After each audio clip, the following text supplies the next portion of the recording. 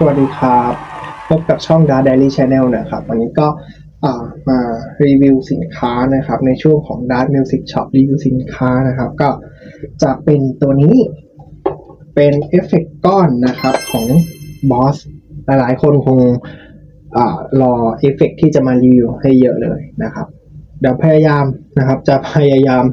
เอามารีวิวให้เยอะที่สุดนะครับ แต่ว่าก็ต้องรอระยะเวลานิดนึงนะครับ อันนี้จะเป็นเอฟเฟกของ Boss นะครับ เป็นรุ่นของ Blue Diver นะครับ BD 2 นะครับ BD ขีด2นะครับ เป็นเสียงเสียงแตกนะครับ แบบอ่าไม่แรงมากนะครับ ก็จะเป็นแตกแบบ Blue นะครับ ซึ่งอ่าเอาไว้ใช้กับซาวที่ค่อนข้างที่จะหวานนุ่มนะครับ หรือเล่น classic rock ก็สามารถเอามาประยุกต์ใช้ได้เหมือนกันนะครับ เดี๋ยวเราลองมาฟังเสียงกันดูครับเดี๋ยวให้ฟังเสียงของเอ่อเสียงกีตาร์เพียวๆก่อนนะครับ เราจะได้ไปแยกกันว่าเสียงจะเป็นประมาณไหนนะครับ ครับเดี๋ยวเรามาฟังเสียง clean จากตู้นะครับ ยังไม่ผ่านเอฟเฟกต์นะครับ เรามาฟังเสียง cleanภาคตีคอร์ดก่อนละกันนะครับเร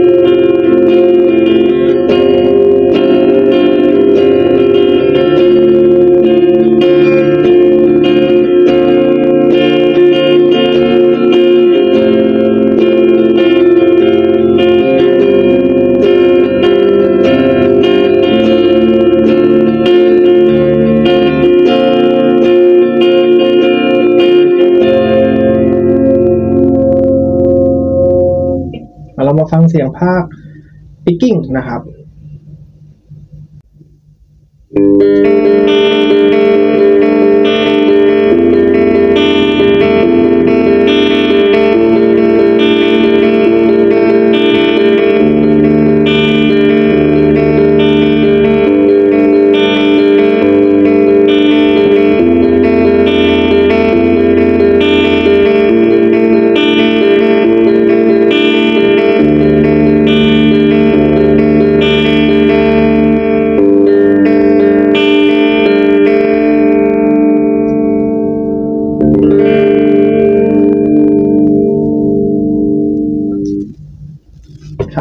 ก็ไปฟังภาคเสียงแตกนะครับ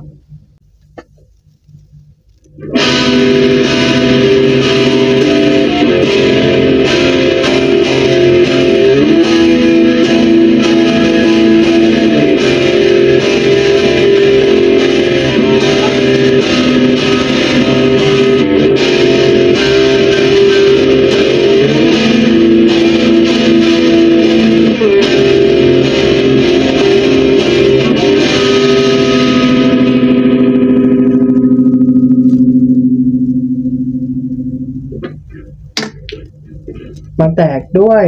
ปิกอัพตัวนี้นะครับครั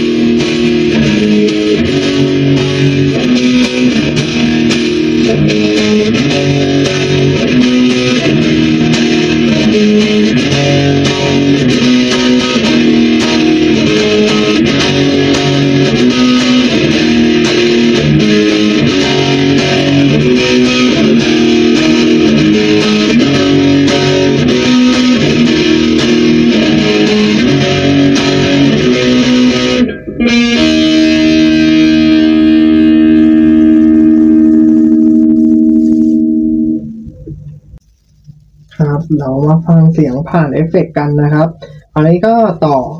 เรียบร้อยแล้วนะครับ ก็จะเป็น Boss Blues Driver รุ่น BD-2 นะครับ ก็จะเป็นเอฟเฟกต์เสียง Blues นะครับ จะเอาไว้ใช้เสียงแตกเป็นหลักก็ได้นะครับ หรือจะเอาเป็นช่วงเฉพาะท่อนก็ได้นะครับ เอาเป็นเสียงรองนะครับ หรือว่าจะเซตให้เป็นเสียง คลีนนะครับให้มีกลิ่นอายของบลูนิดๆก็ได้นะครับ เดี๋ยวเรามาฟังกันดูนะครับ เริ่มจากเสียงคลีนก่อนเลยละกันนะครับ Thank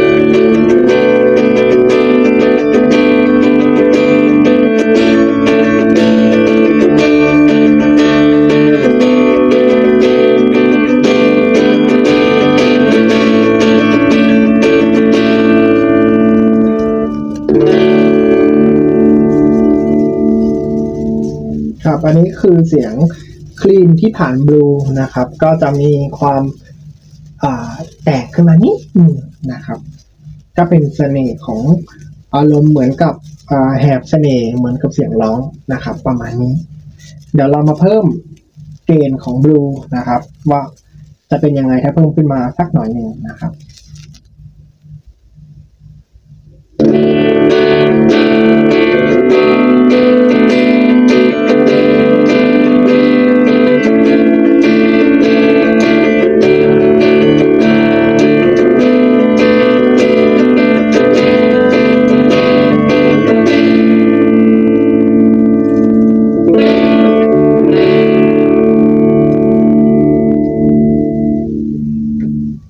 ก็ประมาณนี้นะครับสำหรับเสียงแตกที่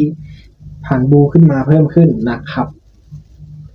เรามาลองเล่นปิกกิ้งดูนะครับ ว่าใส่ปิกกิ้งกับบลูตัวนี้เสียงจะออกมาประมาณไหนนะครับ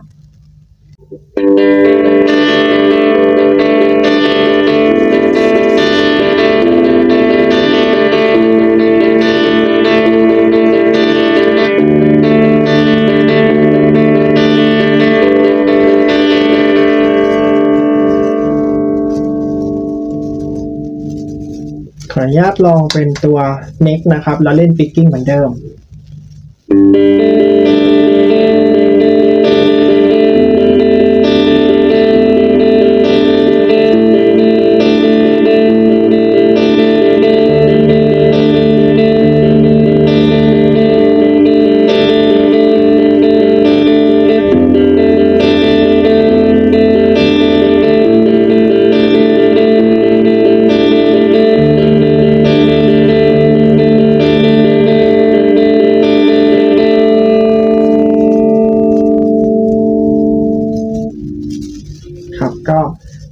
ประมาณนี้นะครับเออชอบมากๆสำหรับตัวผมนะ เพราะว่า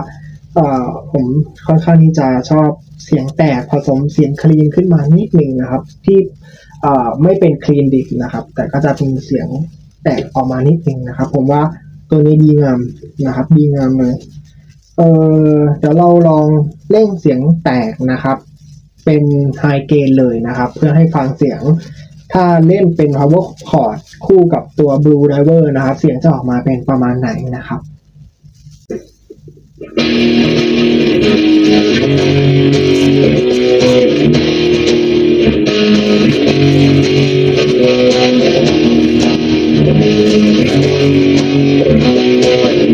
โ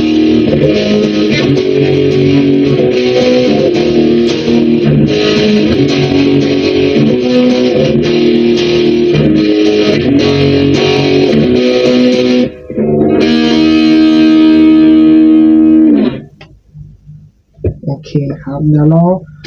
ฟังเป็นปิกอัพตัวเน็กดูนะครับ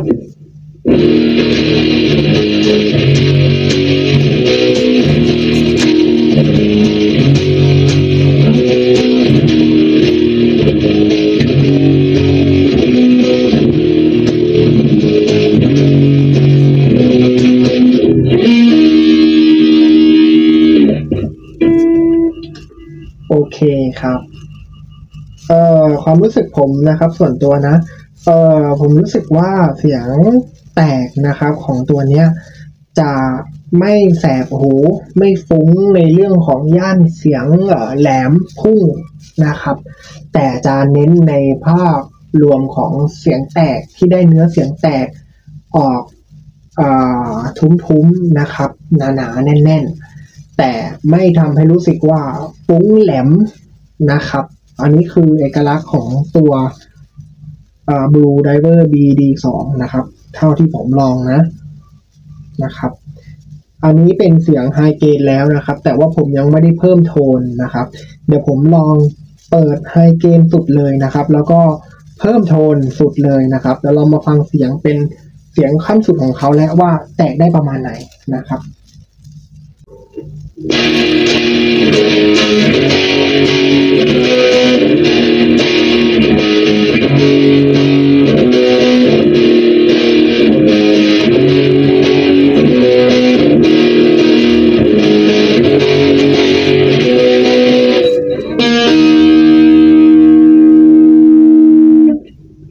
เรามาลองฟังเสียงเป็นตัวเน็กดูนะครับ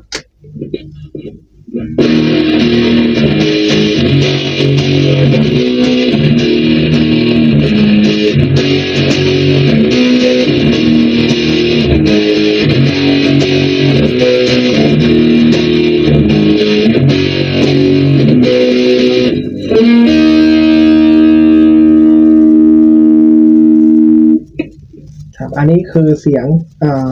ไฮเอ็นในทุกญาติแล้วนะครับ ทั้งเสียงเกณฑ์แล้วก็เสียงโทนนะครับ เออซาวก็ดีดีเยี่ยมเลยครับ ถ้าถ้าเป็นคนที่ชอบในเรื่องของเสียงแตกนุ่มๆนวลๆสมูทนะครับ ผมว่าเสียงแตกตัวเนี้ยดีนะครับ ไม่ไม่แสบหูไม่บี้นะครับ ไม่กระแทกนะครับ มันจะเป็นแตกเอ่อคล้าย ๆ แตกแบบ คลาสสิกล็อกแตกบลูนะครับ จะไม่แตกเหมือนเอ่อเมทัลโซนหรือ distortion นะครับ ถ้าทางนั้นมันจะเป็นเอ่อเป็นร็อกกับเมทัลไปเลยนะครับ เป็นร็อกแบบ alternative นะครับก็จะเป็นแนวนั้นไป แต่ถ้าใช้ตัวนี้เล่นในเสียงของเอ่อ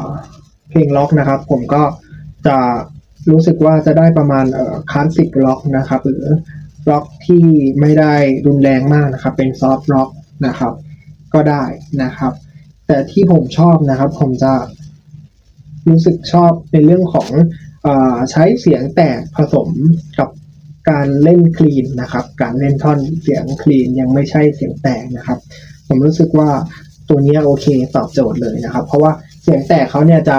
ไม่แหลมพุ้งพุ่งนะครับ มันจะไม่กัดกินหู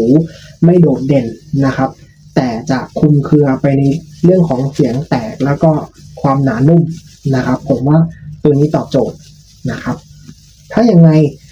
สนใจสินค้านะครับ ผมก็ฝากเพจร้านด้วยละกันนะครับ จะอยู่ที่ใต้คลิปนะครับ อยู่ที่รายละเอียดด้านล่างเลยนะครับ กดดูเช็คเพิ่มเติมข้อมูลด้านล่างนะครับแล้วก็จะมีลิงก์เพจร้านนะครับ ติดต่อเข้ามาได้ตลอดนะครับ สนใจหาสินค้าตัวไหนนะครับ มือหนึ่งหรือมือสองติดต่อเข้ามาได้เลยนะครับ เรา หาให้ได้ทั้งหมดเลยนะครับ และสินค้าทุกตัวนะครับ ถ้าเป็นมือหนึ่งนะครับ จะเป็นสินค้าที่ in box นะครับ ก็คือของอยู่ในกล่องสภาพ 100%นะครับ ไม่เป็นตัวโชว์และไม่เป็นตัวลองนะครับ จะผ่านมือแค่คนเดียวคือตัวผมเอง ผมจะแกะก็ต่อเมื่อมา QC สินค้านะครับ ก่อนจะส่งหาลูกค้านะครับ และ set up ให้ก่อนจัดส่งเท่านั้นนะครับ อาจจะมี รอยนิ้วมือติดไป อันนั้นเป็นของผมเองนะครับ แต่ผมก็จะพยายามเช็คออกให้ได้มากที่สุดนะครับ แล้วก็ถ้ายังไงผมฝากกดไลค์กดแชร์กด Subscribe ที่สำคัญเลยนะครับ กับช่องนี้นะครับ ถ้ายังไงก็ฝากด้วยนะครับ นอกจากสาระเรื่องดนตรีนะครับ เรามีสาระอื่นๆด้วยนะครับ ถ้ายังไงอย่าลืมนะครับฝากกดติดตามให้หน่อยนะครับ จะได้เป็นกำลังใจในการทำคลิปต่อๆไปนะครับ ขอบคุณมากครับ สวัสดีครับ